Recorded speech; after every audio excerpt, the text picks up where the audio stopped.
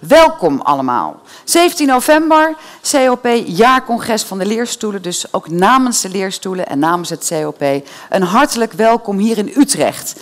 Ik heb begrepen voor jullie ook enigszins ongebruikelijk om uit te wijken vanuit Den Haag. Maar volgens mij met zo'n locatie, het kan niet anders dan goed bevallen.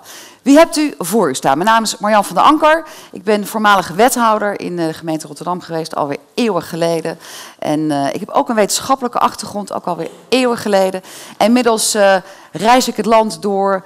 Tal van plekken kom ik als dagvoorzitter en moderator. En dat rondreizen, dat doe ik ook heel letterlijk en figuurlijk voor de radio. Ik ben radiopresentator voor de NTR, maak het programma Kwesties. Nou, we hebben een strak programma. En als het gaat over leerstoelen, dan gaat het natuurlijk ook over de wetenschap. En wat is er nou zo uniek aan de leerstoelen die het COP heeft ingericht, dat ze die verbinding met de praktijk opzoeken? Het zijn geen hele stoffige toestanden. Nee, juist vanuit de praktijk luisteren wat er nodig is, maar ook vanuit de wetenschap meedenken en toch een zekere mate van afstandelijkheid bewaren. En dat vind ik ongelooflijk leuk. Natuurlijk moet er ook fundamentele wetenschap blijven, maar juist het idee om die verbinding te zoeken, dat is fantastisch. Ik vind het ook een eer dat ik hier voor u mag staan. Wat gaan we doen? We gaan kennis maken vandaag met die vier leerstoelen en dan met name de laatste ontwikkelingen binnen het vakgebied. Dat spitsen een beetje toe naar stellingen zodat we ook met elkaar wat kunnen gaan debatteren. Daarom hebt u ook kaart op uw stoelen liggen. Daar zal ik straks nog wat meer over vertellen, hoe dat we dat gaan doen. Het is interactief.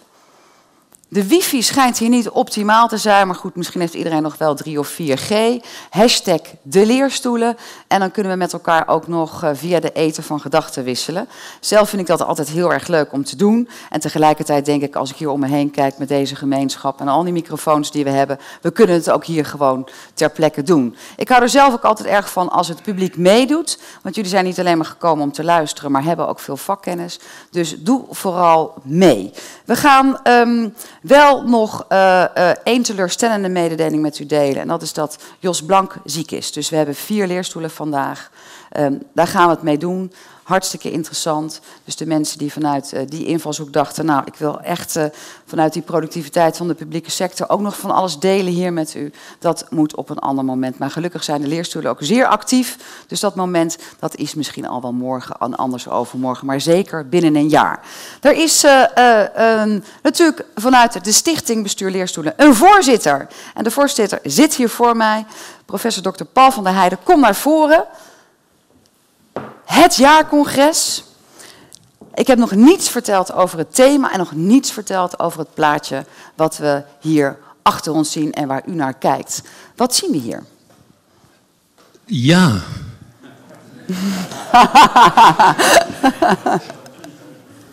dat is multi-interpretabel.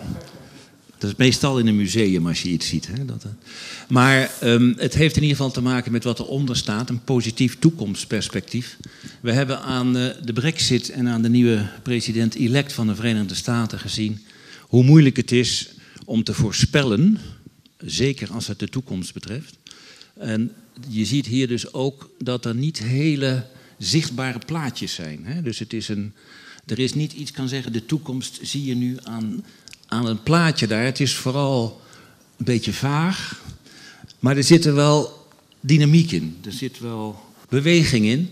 En het gaat ook ergens naartoe. Waar precies?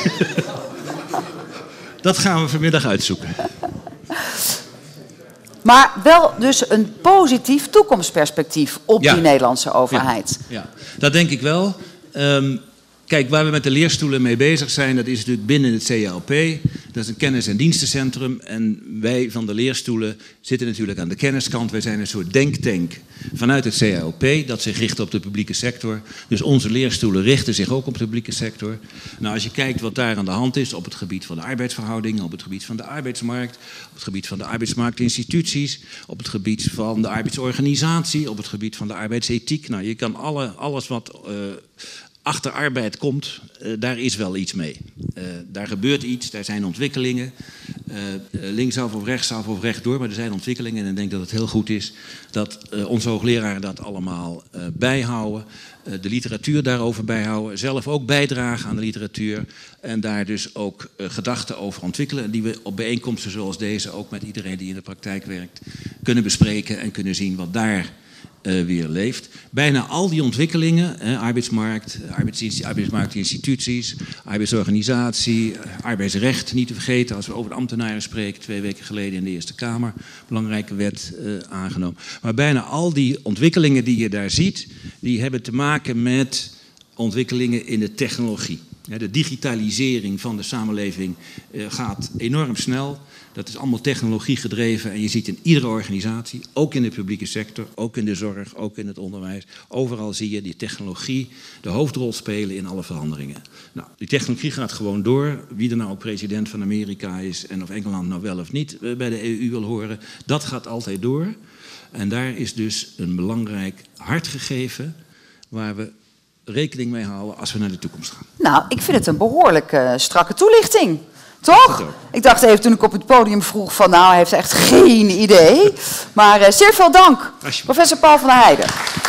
Voorzitter van de Stichting van het Bestuur van de Leerstoelen.